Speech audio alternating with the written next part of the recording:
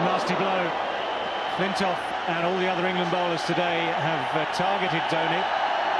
They try not to give him anything to drive, and he's ducked into this. He made the mistake, gentle error of taking his eye off the ball a bit, trusting the bounce, and that has hit him very, very hard. So now we do have a medical situation. That's nasty. And that definitely needs some uh, medical investigation.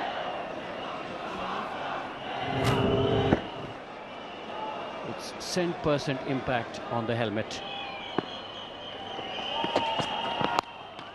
Gone for it, and he's hit it pretty well. It's a good response from Dhoni. Flintoff was going to test him, he was pretty sure of that. He's had enough of looking at it, or not looking at it. Now he is fighting back. He has taken this challenge, Dhoni. He has a deep square leg, Flintoff, as well as fine leg. And a forward short leg. But that never stops.